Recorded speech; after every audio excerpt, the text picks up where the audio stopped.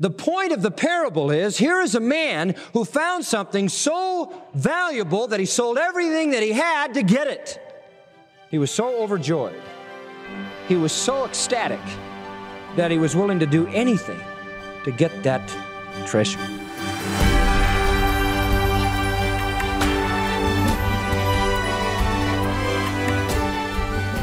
Welcome to Grace to You with John MacArthur. I'm your host, Phil Johnson. So, what's at the top of your to do list today? Perhaps it's chipping away at your inbox, or finishing a project on your house, or spending time with your children. Whatever's filling your day, how do you make sure you're living like a citizen of God's kingdom? John MacArthur has the answers as he continues his look at some of our Lord's most vivid and detailed descriptions of his kingdom. It's part of John's series on the parables of the kingdom. And now, with today's lesson, here's John. Matthew chapter 13, verses 44 through 46. Matthew 13, 44 through 46. The Lord said, Again, the kingdom of heaven is like treasure hidden in a field, which when a man hath found, he hideth, and for joy of it goeth and selleth all that he hath and buyeth that field. Again, the kingdom of heaven is like a merchant man seeking fine pearls, who, when he had found one pearl of great price, went and sold all that he had and bought it. Now, if we were to sum up the meaning of these two parables, we could sum them up under the title the incomparable value of the kingdom. The incomparable value of the kingdom. The great old St. Thomas Guthrie once wrote on the value of the kingdom or the value of salvation. And he said this In the blood of Christ to wash out sin's darkest stains, in the grace of God to purify the foulest heart, in peace to calm life's roughest storms, in hopes to cheer guilt's darkest hour, in a courage that defies death and descends calmly into the tomb, in that which makes the poorest rich and without which the richest are poor indeed, the gospel has treasure greater far than east or west unfold, and its rewards more precious are than all the stores of gold. What he was saying was what our Lord is saying. There is nothing in all the universe to match the priceless value of the kingdom. And that's what we're going to see as we look together at these two parables. Now let's look first of all at the parables and then at the principles they teach. Very simple outline, the parables and then the principles. Now the parables, let's look first of all at verse 44. The first one is a parable of hidden treasure. Very simple story. Kingdom of heaven's like a treasure hidden in a field, which when a man has found, he hides and for joy of it goes and sells all that he has and buys the field. Now this is very common parlance to the people in our Lord's time and not so common to us. We put our money in the savings and loan, or we put our money in the bank, or we put our money in stocks and bonds or securities or, or real estate or whatever, whatever. That is, if we have any money to put anywhere. But in those days, they had no banks as such for common people, and banks weren't necessarily uh, good places to put all of your resources. And so it was usual that men took whatever they considered of great value and they buried it in the earth. Particularly was this the case in Palestine because Palestine was a place of war. It was a battleground. Its history is literally filled with the record of one battle after another, one war after another. And there were inevitably conquering peoples and those who came in to steal and to loot and to plunder. And so very often when a battle was on the horizon, the people would take the valuable things out of their home, take them out into the field, and in a marked place where they could recover them again, they would bury them in the earth. Very commonly done. The earth was a veritable storage house. And so here is a man who is in the field, and we don't know but that he works in the field or that he is some, for some reason or other uh, in that field which belongs to another man, perhaps employed by the man who owns the field. And as he is working in that field, maybe he's plowing or maybe he's tilling the ground or whatever, he comes across a treasure buried in the ground. And immediately he puts it back where he found it and sells every single thing he possesses in the world, liquidates all that he has, and buys that field in order that he may gain that treasure. Now, it would not be uncommon for him to find something in the field. In Matthew chapter 25, our Lord tells a story about a man who gave talents to his servants. Remember that? And the first two servants took the five talents and the two talents and multiplied them. And the third one, who was very, very timid in his investment approach, buried it in the ground. Now that tells us something about a man who was not wise. He should have invested it and gained interest, the Lord said. But it also tells us that that was commonly done by people who didn't want to invest their money but wanted to hang on to it. And so we see this man coming through the field. He finds a treasure. He puts it right back in the ground, goes and buys the field. This was very, very common. Josephus said, the historian in that time, the gold and the silver and the rest of that most precious furniture which the Jews had and which the owners treasured up underground was done to withstand the fortunes of war. And so this was a very, very common thing to do. And there would be people plowing in the field, or there would be people digging in the field for other purposes. And they would inadvertently come across this treasure from time to time. Now, at this juncture, the parable introduces an ethical situation. People have said, look, this guy didn't do right. How can you have Jesus telling a story in which there's an unethical activity? How can you have Jesus telling a story in which a man does something that is wrong? I mean, the guy uncovers a treasure and then he hides it without telling the man who owns the field and he goes to buy the field. What he should have done in discovering the treasure was pick it up and take it and say, here's a treasure I found in your field. And so some people have been struck by what appears to be unethical. Well, let me help you with that, although that isn't the main point. If we don't get past that, some people kind of choke on that and don't get the rest of the message. First of all, Jewish rabbinic law said if a man finds scattered fruit or money, it belongs to the finder. Now, that is what law said. If you find lost fruit or money, it belongs to the finder. So the man is within the permission of the Jewish rabbinic law. So the Jews listening to Jesus would not have perceived this man as unethical.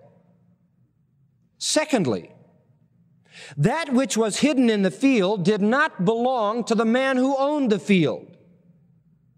If it was his, he wouldn't be selling his field without digging it up. He didn't know it was there. He had not gone to the effort to uncover it and dig it out. No doubt it belonged to a previous owner of that same field who had buried it there, died in battle, or died by accident, unable to recover it. And so it was no more the number one owners than it was the number two owners.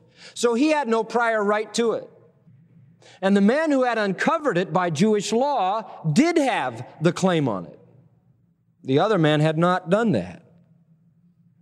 Now, thirdly, this man was very equitable. This man was very fair.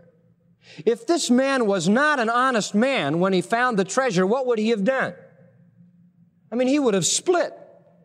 He would have packed up his treasure and been long gone and put it in his own field why go to all the trouble of buying the entire field when you've got the treasure in your hand? You say, well, maybe his conscience bothered him. Or maybe it was his father in law or some relative. Well, I thought about that, and then I thought, I, I thought of a good idea. This will show you how my mind works. You could take the treasure and go liquidate a portion of it, and with the money you gain from the treasure, then buy the field. Not bad, huh? He didn't do that. He took that treasure that he had found. He knew it belonged to him by Jewish law. He knew he had more, or at least equal right to it with the man who owned the land. He put it right back in the ground, never even used any of it for the purchase, liquidated every single thing he had on the face of the earth in his possession, and went and bought the entire field just so that he could do what was right to get that treasure. No lack of ethics here.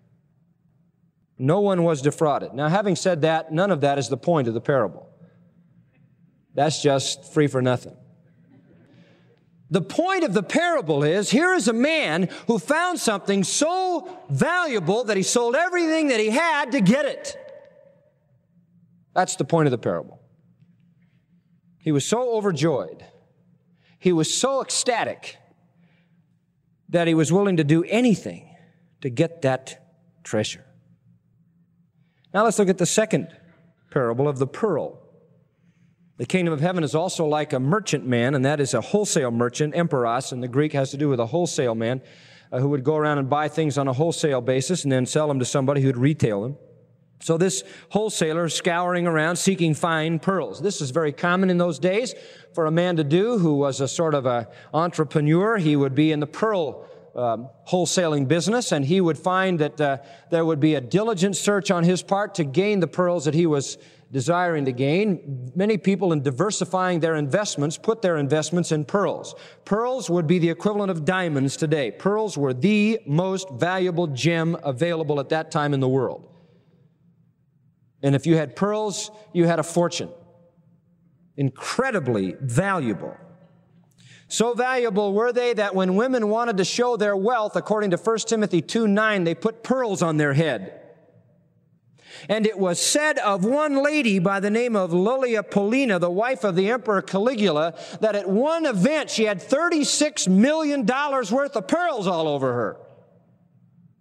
In fact, the historian says she had pearls on her head, she had pearls on her hair, she had pearls on her ears, she had pearls on her neck, and she had pearls on her fingers. She could have stood in for one of the gates of heaven but this was how pearls were perceived in those days. Pliny, the historian, says that Cleopatra had two pearls, each worth a half a million dollars, and that was in a day when money was 20 times greater in its buying power than it is today. And when the Roman emperors wanted to demonstrate their incredible wealth and show how filthy rich they were, they dissolved pearls in vinegar and drank them in their wine. So pearls were very valuable. Our Lord in Matthew 7, 6 says, don't cast your what? Pearls before swine because he is trying to compare the worst with the most priceless. You don't give the most valuable thing to a pig.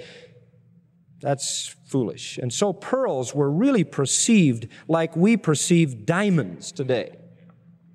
Very, very, very valuable. In fact, even going into the book of Revelation, we find that when God begins to describe heaven, it is as pearls in its beauty. And so here is a man who went around seeking fine pearls. And he would market them because they were good investment. They went up in value and you could diversify. You could put some of your money in the ground, some of your money in pearls, some of your money in property and whatever else. And that's the way people ran their businesses. The one thing you didn't do, I understand, if you're a smart investor and still don't, is to put everything into one investment. But isn't it interesting that in both cases, that's exactly what these two did? The first man sold everything and bought the one field. The second man sold everything and bought the one pearl. Now, what are the principles from the two parables? You understand them now. What are the principles? I'm going to give you six principles. Listen carefully. Number one, the kingdom is priceless in value. The kingdom is priceless in value. Both parables are designed to teach us the incomparable value of the kingdom of the Lord. And when we talk about the kingdom of the Lord, we're talking about salvation. We're talking about Christ himself and the gift of salvation that he gives, the knowledge of God through Jesus Christ, the preciousness of what it is to be in his kingdom, the preciousness of fellowshipping with the king, the preciousness of being a subject of the sovereign. The blessedness of the kingdom is so valuable that it is the most valuable commodity that can ever be found, and only a fool is not willing to sell everything he has to gain it. Nothing comes close in value.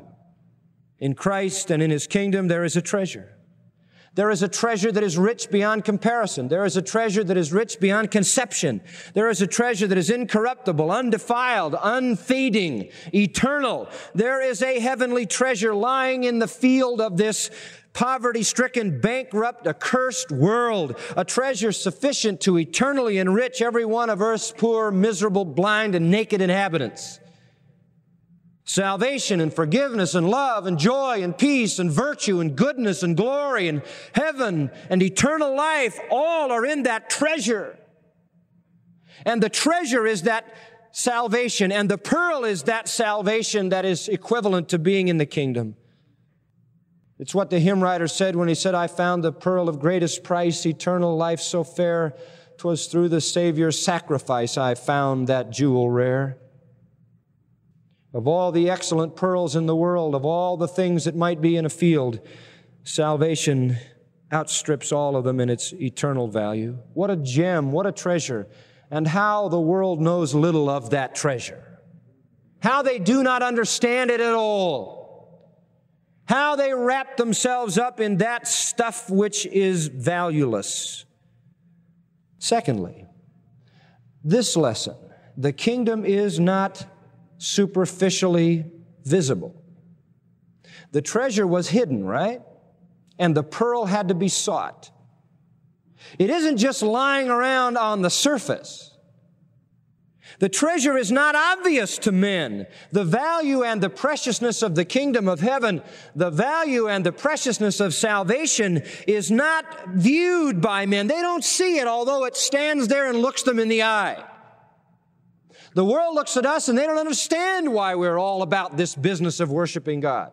They don't understand why we want to give our lives to Jesus Christ. They don't understand why we want to live and obey a code of ethics and rules that goes against the grain of our deepest lusts and drives. They don't understand why we price this so highly when it means so little to them. No, the kingdom is not superficially visible. It says in 1 Corinthians 2, the natural man understandeth not the things of God. They are foolishness to him. And in 2 Corinthians 4, it says that the God of this world has blinded the minds of them that believe not, lest the light of the glorious gospel of Jesus Christ should shine unto them. So, it isn't that apparent. Even though the message is here and the word is here, they don't see it. They're blind. It is not superficially manifest. In both cases, one, there is a seeking. The other, there was a discovery and a pursuit of that which was discovered.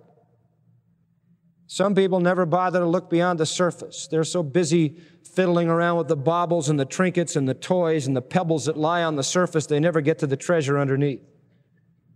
One writer put it this way under the form of a man, under the privacy and poverty of a Nazarene was the fullness of the Godhead hidden that day from the wise and prudent of the world. The light was near them, and yet they did not see it. The riches of divine grace were brought to their door, and yet they continued poor and miserable. And that's true.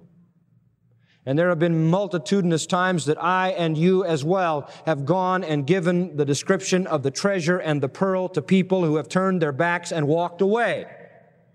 And they do not care. They do not want that. They do not understand its inestimable value. It is not superficially perceived. That is why it says in Matthew 7 14 that narrow is the way and few there be that find it. And that is why it says in Matthew 11 that the kingdom is taken by the violent who take it by force. In other words, it must be pursued. The kingdom is valuable, but the kingdom is also hidden from the superficial lookers who do not want to look deeply to the truth that is hidden in the Word of God. That's why it says in Luke 13, 24, strive to enter in at the narrow gate, for many, I say, will seek to enter in and shall not be able. Now, even the pearl gives this same idea. The pearl, while it is not hidden in the sense that the man doesn't have to dig it out of someplace, still originally had to be gained at the most incredible kind of circumstance where the person dives into the sea, digs it out of the bottom, opens the shell, finds it there, and now the man pursues it all over the world till he finds it. And so there is the sense in which we see the hiddenness of the message. The world doesn't see it. You know, Jesus said uh, that you will not come unto me that you might have life. And then he said, Search the scriptures, for they are they which speak of me. And John said he was in the world, and the world was made by him, and the world what? Knew him not. He came unto his own, and his own received him not.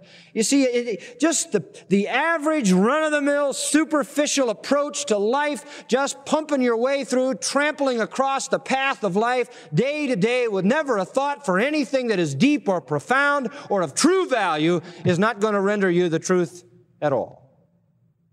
It isn't on the surface. There has to come that desire at some point to respond. Even in the case of the man who found the treasure, he had to pursue what it was that he originally found. And maybe he hooked his plow on something and was willing to pursue what that something was. Third thought the kingdom is personally appropriated. And this is the crux of the parables. The kingdom is personally appropriated. Now, the previous two parables give us the idea that the kingdom is, is just influential.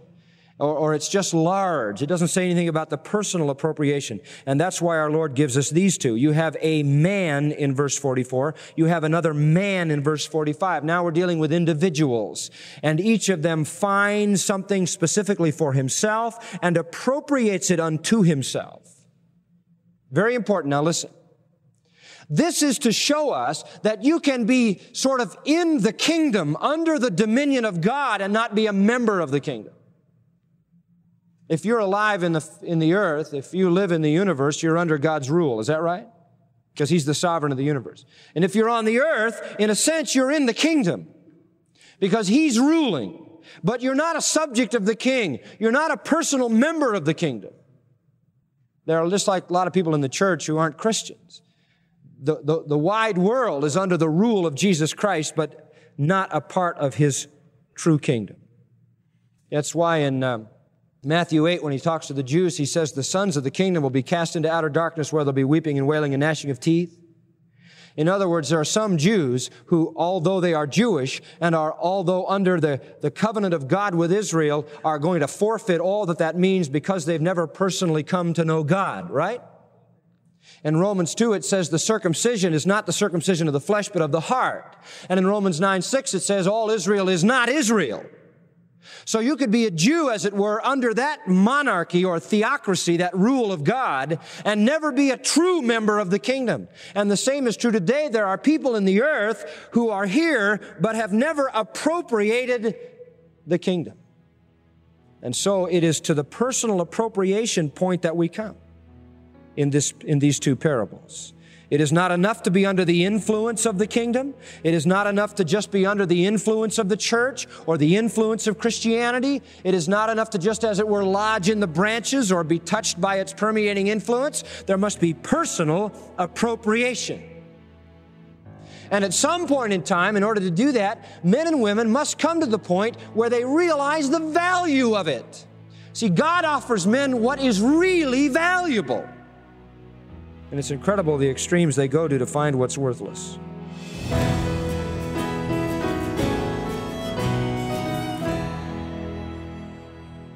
That's John MacArthur. He's chancellor of the Masters University and Seminary. He's also the featured speaker here on Grace to You. And today he showed you why the treasure God provides is better than the best this world can offer. It's part of John's current study from Matthew 13 called The Parables of the Kingdom. Now, as we're seeing in this study, the meaning of Jesus' parables was hidden to those who didn't believe in him. And as is always the case, only a believer can truly understand what the Bible means by what it says. And so, John, I know you would say that saving faith doesn't necessarily guarantee a right interpretation. It's necessary, but something more is needed too, right? Yeah, well, first of all, backing up uh, to what you just said, not being a believer can guarantee that you won't get the right interpretation. Right. Because the natural man understands not the things of God. They're foolish to foolishness to him. They are spiritually discerned and he is spiritually dead. So a non-believer is always going to get the Bible wrong. And uh, we have plenty of evidence of that, the misuse of Scripture on an individual level, and all the unregenerate people who develop cults and bizarre religions and twist Scripture yes, you need to be a believer in order to have the, the Spirit of God as your teacher and your mind illuminated in the truth. But it's not just that. It requires diligent study. And that's why we go back to that familiar text of Paul writing to Timothy the, the original translation was study to show yourself approved unto God, a workman needing not to be ashamed, rightly dividing the word of truth. So if you if you don't rightly divide the word or in, rightly interpret it, you should be ashamed of yourself. That tells us that the Bible can be understood if you're diligent enough in searching the scriptures. We want to help you with that, and the flagship um, resource of this ministry has always been the MacArthur Study Bible. It uh, gives you 25,000 footnotes for the whole Bible from the beginning of Genesis to the end of Revelation, helping you understand what each section means, each passage, and in many cases, each word. The MacArthur Study Bible has sold in the multiple millions uh, over the years, a New American Standard Version, New King James, ESV. It's available in Spanish, German, French, Russian, Italian, Chinese, Arabic, Portuguese. If you don't have a copy of the MacArthur Study Bible, you need to get one. It is a library in one volume. It will make a huge difference. It will lead you to an accurate understanding of everything you're reading in Scripture. You can order one today from Grace to You. A lot of options to choose from with regard to that, so check the website. That's right. Whenever you come across a passage you don't understand, just look at the footnotes. On every page, they give a clear, detailed explanation that will unlock the meaning of Scripture verse by verse. To order the MacArthur Study Bible, contact us today. Call 855 GRACE or go to gty.org. The Study Bible is available in hardcover, genuine leather, and premium goatskin. And as John said, you can choose from the English Standard, New King James, and New American Standard versions. To get your MacArthur Study Bible, call 855 GRACE or visit our website, gty.org. And at our website, be sure you take advantage of all the resources that are there for you. Do you have a question about how to honor God and honor your spouse in your marriage, or how to deal with the trials you face, or how to minister to a loved one who is suffering? For those issues and countless others, you will find biblical answers in the Grace to You Sermon Archive. That's 3,500 full length sermons available for free download right now. You'll also find daily devotionals and insightful blog articles and much more. Our web address again, gty.org. Now, for John MacArthur and the staff, I'm Phil Johnson, encouraging you to be here tomorrow when John continues his fascinating look at the parables of the kingdom. It's another half hour of unleashing God's truth, one verse at a time, on Grace to You.